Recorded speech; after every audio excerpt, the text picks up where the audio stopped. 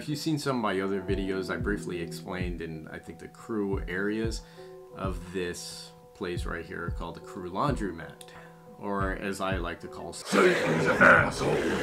There's about two of these rooms on each and every ship, and they have 10 washers, 10 dryers, half of which are broken at any given time, and average crew size about 2,000.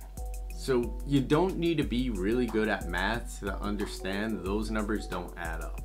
When I do laundry on land, it takes less than 90 minutes and that includes travel. My best time on the ship has been 3 hours and 45 minutes. The worst time, 6 hours and 23 minutes. Yes, I do keep track of the time that it takes me to do laundry on a cruise ship. Besides the obvious, the reason why it takes so long is because of scenarios like this. For the most part, this is how the layout is on any ship.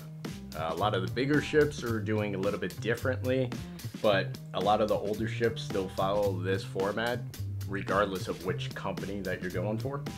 So here's your cabin, you're on deck three. Deck four is right above you, and that's where the I-95 is. So here you are coming out of your cabin with your bag of laundry. You can't go through this way because there's a watertight door here.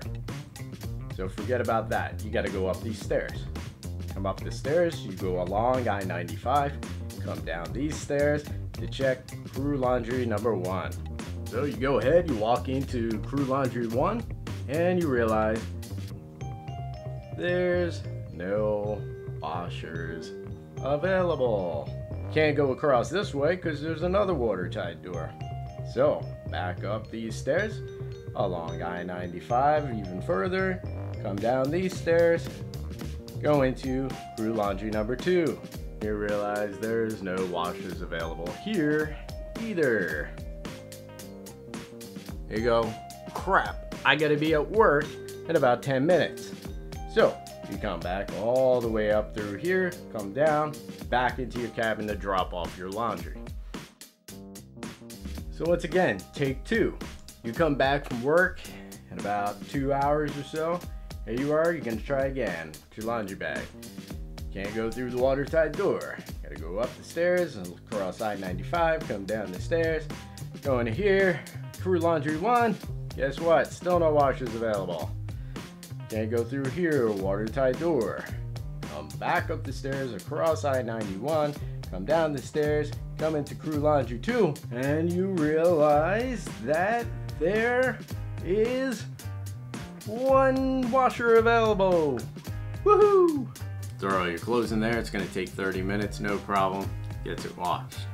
So now you go back to crew laundry 2, you realize, all right, my stuff is done, and now I'm gonna dry but now there's no dryers available.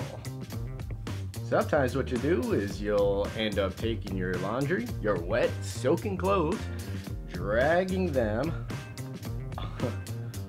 all up here, all along I-95 to come down into Crew Laundry 1. Hey, guess what, Crew Laundry 1?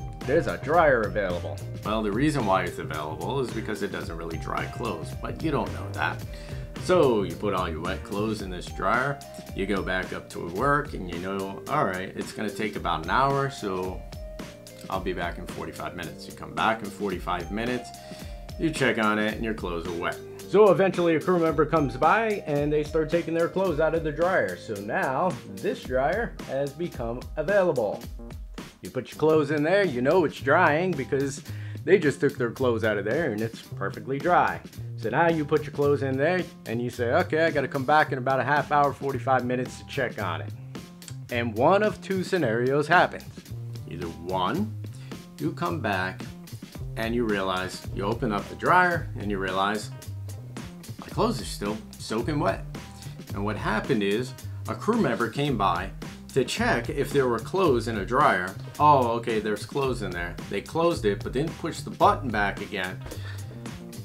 And so your clothes are not dried, or not drying. So you were gone for 45 minutes, but maybe 40 of those minutes, your clothes are just sitting there. Only five minutes of drying time actually happened. The other scenario, which I love, is another crew member comes by and says, you know what, I don't want your clothes to get dried. I want my clothes to get dried. So they take all your wet clothes out of the dryer and throw them on the folding table so that they can dry their clothes. And this is a never ending cycle that happens over and over and over and over and over and over and over and over again. So, because of all this, what crew members normally do, and men and women alike, here's an example go down to the crew bar. Maybe it's a night before Sea Day, so there's not a whole lot of people out. You get there about 11:30, and there's your regulars are there that are there, but there's only about two people that you know, and like maybe a handful, very small handful of people that you want to get to know.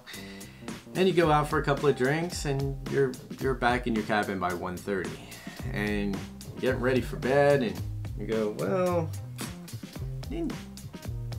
wear it for more than two hours, so it's not technically dirty. Well, I won't wear it tomorrow, but like maybe two nights from now I'll wear it. And so what they'll do is they'll take the shirt, throw it over the closet door, and uh, wear it in the next couple of days. And I tell you this because you will see it every day. Most crew members, you will only see them wearing the three same shirts every week.